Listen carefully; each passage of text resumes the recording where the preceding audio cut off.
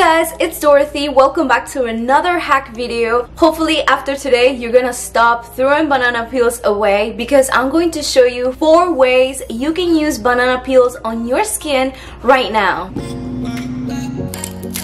This is all we need. One ripe banana. I'm going to make a smoothie with the inside Instead of throwing the peels away, I'm going to cut the banana peels in seven pieces.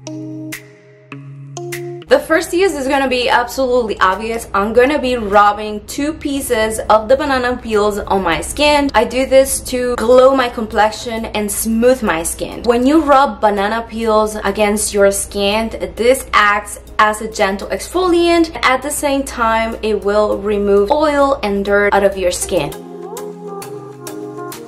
and here you can see the results. My skin was glowing, it felt so so soft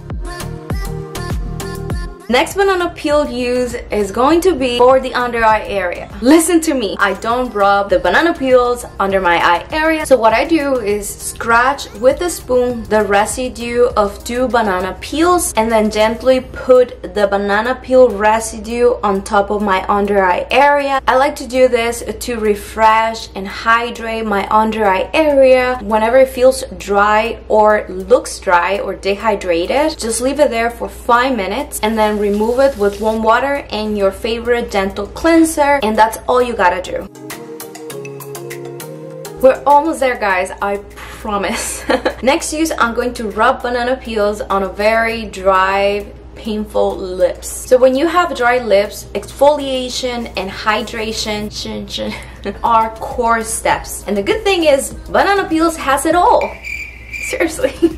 Banana peels have vitamins that will nourish and moisturize any skin, including the skin on the lips. Just grab one piece and rub it gently on my lips. It feels pretty much like a lip balm. This is an after and my lips feel much better if your elbows are super dry and they feel like hard rock just grab two pieces of banana peels rub it on your elbows and you're gonna feel them and see them more hydrated. Let me know in the comments below which banana peel is your favorite. If you like skincare hacks videos subscribe to this channel so you don't miss any of my videos. Hopefully i will see you in the next video. Pura vida